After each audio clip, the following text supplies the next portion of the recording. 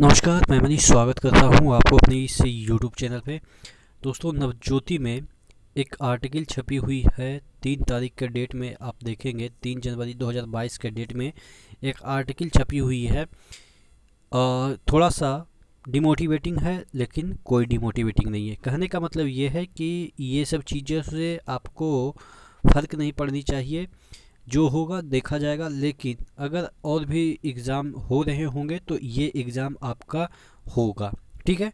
तो अभी के लिए ये दिमाग में बना के रखिए कि आपका एग्ज़ाम होगा, क्या हेडिंग है, उससे फ़र्क नहीं पड़ता। ग्रुप डी, भर्ती परीक्षा के आयोजन पर फिर से सवालिया निशान। ये क्या अनुमान लगा रहे हैं, वो सब डिटेल में हम चर्चा करेंगे। इससे पहले वीडियो शुरू हो। मैं आपको बता दूँ कि डील ऑफ़ मंथ चल रहा है। इस महीने का डील ऑफ़ मंथ के तहत आपको तीन सौ निन्यानवे रुपया का जो पास है, उसमें पंद्रह परसेंट का डिस्काउंट देते हुए E R money coupon code use करते हैं तो साठ रुपये का आपको डिस्काउंट मिल जाएगा। यहाँ पे तकरीबन 450 प्लस एग्ज़ाम और आपके इकतीस हज़ार प्लस मॉक टेस्ट मिल जाएँगे। अगर हम बात करें तो यहाँ पे आप SSC banking railway UPSC insurance defence police teaching state exam और जितने भी एग्ज़ाम होते हैं, सभी का आप प्रिपरेशन कर सकते हैं। एक साल का जो अगर पास खरीदते हैं तो आपको थ्री थ्री नाइन पड़ेगा और अगर आप लाइफ टाइम चाहिए तो आपको पाँच सौ नौ पड़ेगा। नीचे डिस्क्रिप्शन बॉक्स में लिंक दिया हुआ है, एक बार ज़रूर विज़िट कीजिएगा। तो हम बात कर रहे थे, ये जो आर्टिकल छपी हुई थी देखिएगा तीन तारीख के डेट में, यानी कि कल के डेट में ये छपी हुई थी।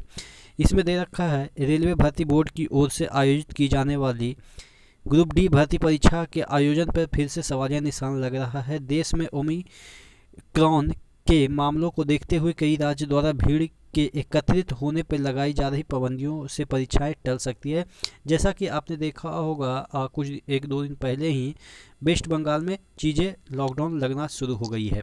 तो क्या ये चीज़ें इफ़ेक्ट डाल सकती है परीक्षा पे? तो देखिए अगर ट्रांसपोर्टेशन सुविधा पे इफ़ेक्ट पड़ता है तो ऑब्वियस है कि आपके एग्ज़ाम पे भी इफ़ेक्ट पड़ेगा। लेकिन अभी तक मुझे नहीं लग रहा है कि अभी कोई ऐसा चीज़ें होगी। ठीक है? क्योंकि अभी भी वेट करने वाली चीज़ है, अभी भी आपके पास तकरीबन पौने दो महीने का टाइम है या डेढ़ महीने का, आप मान के चलो कि अगर आपका एनटीपीसी हो तो डेढ़ महीने का टाइम है और अगर हम बात करें ग्रुप डी का तो पौने दो महीने का टाइम है। तो अभी भी बहुत सारे टाइम है, अगर इसमें उतना तेज़ी से नहीं फैलता है, लेकिन आप देख रहे हैं कि दिन प्रतिदिन बढ़ता जा रहा है, लेकिन फिर भी आशा ये रखिए कि आपका एग्ज़ाम हो जाएगा, क्योंकि और भी एग्ज़ाम चल रहे हैं। जब तक पूरी तरीके से लॉकडाउन नहीं लगता, तब तक आपके होने की संभावनाएँ हैं। ये पेपर वाले कुछ भी लिखते रहें। आगे ये इसमें दे रखा है कि बोर्ड की ओर से ग्रुप डी की भर्ती परीक्षा 25 सॉरी 23 फरवरी से शुरू की जाने की संभावित तिथि घोषित की गई है। परंतु देश में ओमिक्रॉन के मामले लगातार फिर बढ़ रहे हैं। ऐसे में कई राज्यों ने भीड़ को रोकने के लिए अलग अलग तरह के पाबंदियाँ लगाना शुरू कर दिया है। ऐसे में भर्ती के लिए कंप्यूटर बेस्ड टेस्ट करना भर्ती बोर्ड के लिए आसान नहीं होगा। ऑब्वियस है कि देखते हैं क्या होता है, लेकिन फ़िलहाल अभी आप ये मान के चलिए कि आपका एग्ज़ाम होगा और उसी को मद्देनज़र रख के आपको तैयारी करनी है। यहाँ पे आगे दे रखा है बोर्ड की भर्ती परीक्षाएँ देश भर में एक दिन तय तिथि पर आयोजित की जाती है। ऐसे में यदि मामले बढ़ते हैं तो परीक्षाएँ तय तिथि पर करा, आ, कराना भर्ती बोर्ड के लिए संभव नहीं होगा। हालाँकि जो भी निर्णय लिया जाएगा वह अभ्यर्थी के स्वास्थ्य को ध्यान में रख के लिया जाएगा परंतु मौजूदा परिस्थितियों को देखते हुए ग्रुप डी भर्ती परीक्षाएँ तेईस फरवरी से कराना संभव नहीं लग रहा है।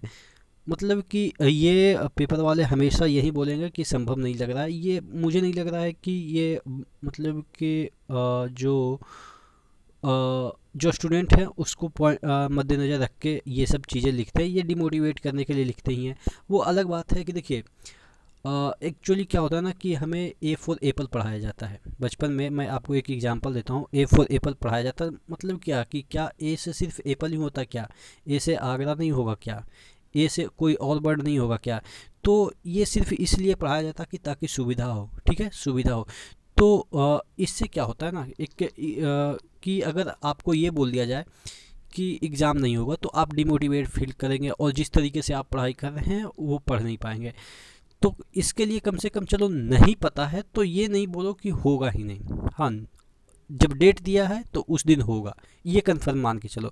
अगर उस दिन नहीं होता है तो ज़्यादा से ज़्यादा एक महीने और टल सकते हैं, आधा महीने टल सकते हैं। यानी कि इसका मतलब ये तो होगा कि कम से कम आपका जो पढ़ाई है, वो हम पर नहीं करेगा। उस दिन पर्टिकुलर डेट के समय अनाउंस होगा कि चलो ठीक है ओमिक्रॉन की वजह से हम एक महीने डिले कराएँगे। इधर आपका जो एक महीने, डेढ़ महीने डिमोटिवेट फील करके आप पढ़ाई छोड़ दोगे, उससे तो बेटर है कि उस समय आपको पता होनी चाहिए कि उस समय क्या होगा। तो अभी के मद्देनज़र आप ये मान के चलिए कि आपका एग्ज़ाम होगा और आपका एग्ज़ाम तेईस फरवरी से ही होगा। अगर बाद में कुछ होता है तो देखा जाएगा, क्योंकि देखिए, भविष्य को तो कोई नहीं देखा ना। तो अभी जो आपके नोटिफिकेशन ऑफिशियल नोटिफिकेशन है, उसी को मान के चलिए कि तेईस का एग्ज़ाम होगा और आपके जो सी बी वन के जो रिज़ल्ट हैं वो पंद्रह जनवरी को आ रहे हैं। जितने भी ऑफिशियल डेटा हैं उसी को आप अच्छे तरीके से समझ के चलिए कि उसी को आ, मतलब कि एक रेफरेंस मान के चलिए कि उसी समय होगा। पहले भी यहाँ पे देखिएगा लिखा है पहले भी बोर्ड की ओर से एनटीपीसी भर्ती परीक्षा को कोविड 19 के मामले बढ़ने के कारण बीच में रोकना पड़ा था। देखिए रोकना पड़ा था वो तो सही है ठीक है? वो तो सही है। आपने देखा होगा कि आधा लोगों का एग्ज़ाम हो गया था और सेवन्थ फ़ेज़ वाले का तो एग्ज़ाम बहुत बाद में हुआ। तकरीबन चार से पाँच महीने डिले हुआ। तो उसमें चार से पाँच महीने डिले हुआ, वो अलग मैटर है। लेकिन इसमें मुझे नहीं लग रहा है कि इतना डिले किया जा सकता है। क्योंकि अब लोगों को इस चीज़ से मतलब कि इस चीज़ में रहने की आदत हो गई है कि कोरोना आएगा, कोरोना जाएगा। अब उसके चलते तो हर चीज़ रोका नहीं जा सकता ना। हाँ वो अलग बात है कि स्वास्थ्य प्रायोरिटी होनी चाहिए, लेकिन आपको डिमोटिवेट नहीं होनी है। एग्ज़ाम तो होगा ही, आप पढ़ाई करते रहिए, निरंतर पढ़ाई करते रहिए, क्योंकि कट ऑफ़ तो नीचे जाएगा, लेकिन इसका मतलब ये नहीं कि कट ऑफ़ ज़ीरो चला जाएगा। पचास पचपन लाते हैं तो क्लियर हो जाएगा, लेकिन फिर भी आपको बिना पढ़ाई से तो एग्ज़ाम क्लियर नहीं होगा। ठीक है, फिर आगे दे रखा है, परंतु अभी तक बोर्ड की ओर से कोई नया नोटिफिकेशन जारी नहीं किया गया है। संभवतः सरकार परिस्थितियों को देखते हुए जल्द ही कोई निर्णय लेकर अभ्यर्थियों को अवगत कराएगा। तो ये देखिए, ये जितने भी चीज़ें पेपर में छपी है वो सिर्फ़ और सिर्फ़ अनुमान लगाया जा रहा है कि ओमिक्रॉन जो है वो बढ़ रहा है, जिसकी वजह से आपका एग्ज़ाम डिले हो सकता है, इस तरह की परिस्थितियाँ पहले भी आई। तो ये सब सिर्फ़ और सिर्फ़ संभावनाएँ हैं और संभावनाएँ को हकीकत मन मानिए हाँ वो अलग बात है कि बाद में क्या होगा, मैंने शुरू में ही समझा दिया कि बाद में क्या होगा, वो बाद में देखा जाएगा। अभी से ये सोच के कि उस समय एग्ज़ाम नहीं होगा, आप डिमोटिवेट फील करके कम पढ़ाई करेंगे तो हो सकता है कि अगर एग्ज़ाम हो जाए तो फिर दिक्कत हो जाएगा। ठीक है? तो इसीलिए इन सभी चीज़ों से दूर रहिएगा कि इस तरीके की चीज़ें अगर छपती है तो कोई दिक्कत नहीं, क्योंकि देखिए, ये वाला चीज़ें आपके पास ऑलरेडी पहुँच चुकी होगी। क्योंकि मैं एक दिन बाद वीडियो बना रहा हूँ तो आप तक ये चीज़ें पहुँच चुकी होगी तो आप इसको पढ़ के डिमोटिवेट फील कर रहे होंगे। तो मैं आपको बता दूँ कि कोई दिक्कत नहीं है, ये पेपर वाले से ज़्यादा तो आप लोग जानते हैं, हम लोग जानते हैं, ठीक है ना? तो पेपर में क्या छपती है, उस, वो मैटर नहीं करता है। आप क्या, किस तरीके से किस चीज़ को लेते हैं, वो मैटर करता है, ठीक है? तो अच्छी बात है, आप पढ़ते रहिए, ठीक है? समय पे ही आपका एग्ज़ाम होगा। नेक्स्ट वीडियो मिलता है, तब तक के लिए धन्यवाद।